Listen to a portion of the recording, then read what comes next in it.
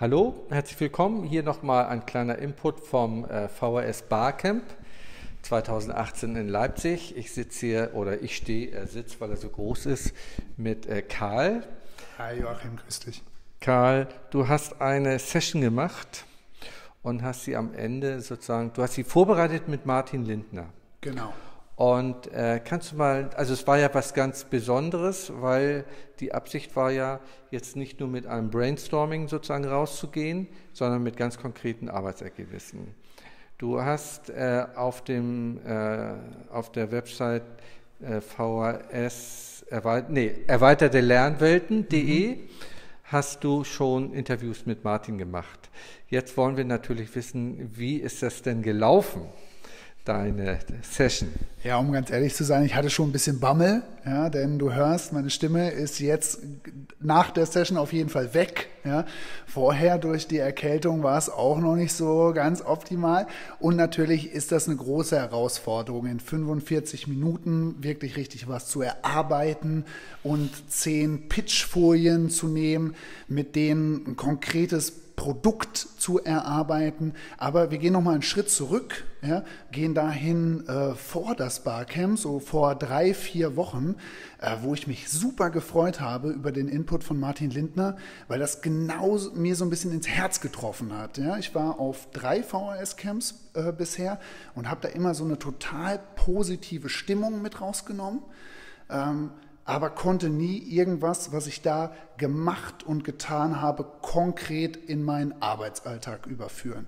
Und das ähm, ist, glaube ich, vielen Kolleginnen und Kollegen äh, so gegangen. Und deshalb ähm, war dieser Ansatz von Martin zu sagen, wir bräuchten ein Instrument oder eine Schiene im Barcamp, wo es mal wirklich zur Sache geht, wo konkret Ergebnisse erarbeitet werden und dann in Projektbasis weitergearbeitet wird gemeinsam, da bräuchten wir was und da habe ich eine Idee.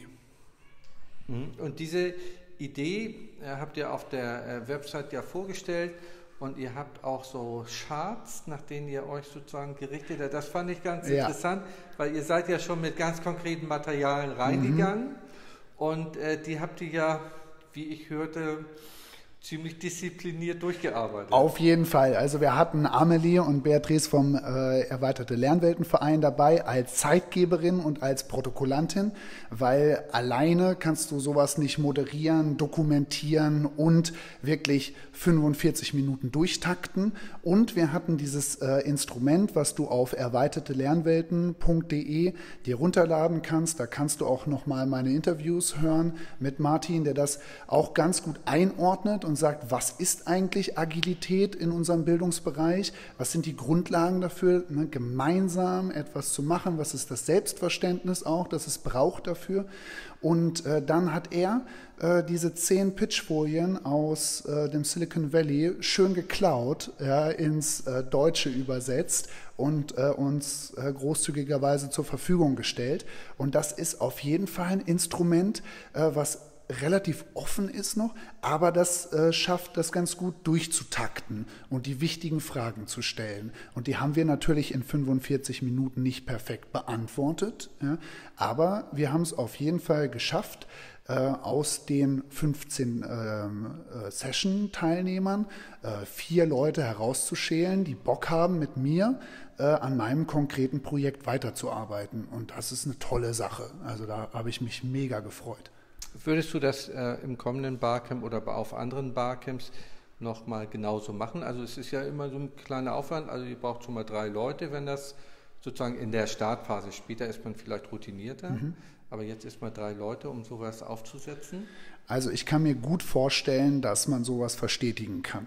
Die Idee, äh, mit der äh, Martin gekommen ist, war ja auch noch ein bisschen größer. Er hat gesagt, wir bräuchten eigentlich einen kompletten Track, ja, um zu sagen, ähm, Session ähm, in dem Raum sind immer ja, Arbeits- und Projektsession und funktionieren unter anderen Vorzeichen.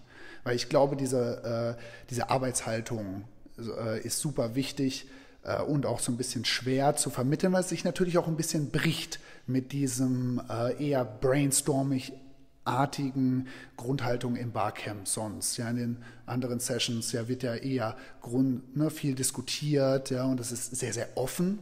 Ja, und äh, ich glaube, das kann man äh, umsetzen und es fällt dann natürlich leichter, wenn man noch ein bisschen das Instrument ein bisschen äh, besser fasst und auch ganz klar sagen kann, äh, es gibt äh, einen ein Ort dafür und institutionalisiert das sozusagen, dass man sagt, ey, du hast Bock, wirklich konkret auf ein, äh, auf ein Projekt hinzuarbeiten, so das äh, kannst du machen und dann wissen alle deine Leute, die in die Session kommen, so das erwarten, was sie da erwarten können.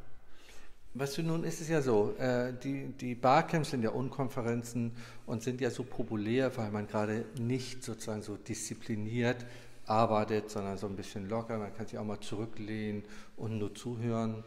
Ähm, hast du eine Rückmeldung der äh, Teilnehmer und Teilgeberinnen, äh, wie das für sie am Ende war? Also kannst du dir vorstellen, im nächsten Barcamp, dass es so einen Track gibt, äh, dass die Leute das mitmachen? Also das, wir zwingen ja niemanden dazu. Ja? in eine Projektgruppe zu kommen und hart zu arbeiten. Ja, und wenn du da nicht einer Meinung bist, dann kannst du gleich rausgehen. Das ist ja natürlich totaler Quatsch. Ja sondern das ist ein nach wie vor eine total offene und äh, freundliche, kooperative Atmosphäre gewesen, ja, wo äh, die zehn Leute, äh, die jetzt nicht in dieser Projektgruppe äh, mitarbeiten wollten, äh, super konstruktiv mitgearbeitet haben und äh, für sich glaube ich, nicht das Gefühl hatten, sie wären in irgendwas reingezwungen, was total konträr zur restlichen Barcamp-Philosophie steht. Ähm, und deshalb könnte ich mir das schon gut vorstellen, das zu, äh, äh, das zu verstetigen und äh, damit zu arbeiten. Und ich finde auf der anderen äh, Seite, es äh, ist für mich als äh, Sprachen-HPM eine ganz seltene Möglichkeit, mal außerhalb meiner üblichen Strukturen Leute kennenzulernen, die in ähnlichen ähm, Arbeitsfeldern unterwegs sind, die an ähnlichen Sachen arbeiten und das ist eine totale Verschwendung, ja, wenn ich mit denen, die, die genau die gleichen Sachen machen wollen, nicht weiterarbeite. Ja, und deshalb muss ich doch irgendwie das Barcamp nutzen, um mit denen ins Gespräch zu kommen, um möglichst konkret ins Gespräch zu kommen.